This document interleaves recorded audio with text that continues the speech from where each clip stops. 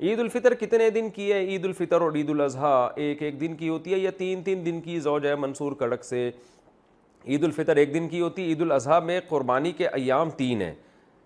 تین دن ہیں اور چوتھا دن اس میں روزہ رکھنا حرام ہے۔ تو اس لحاظ سے ہم یہ کہہ سکتے ہیں کہ عید الاضحیٰ کے احکام چار دنوں تک رہتے ہیں۔ تین دن تک قربانی اور چوتھے دن بھی روزہ حرام۔ اور عید الفطر کا جو حکم ہے وہ ایک ہی دن تک رہتا ہے، کیونکہ ایک ہی دن روزہ حرام ہوتا ہے، اگلے دن روزہ رکھ سکتے ہیں آپ۔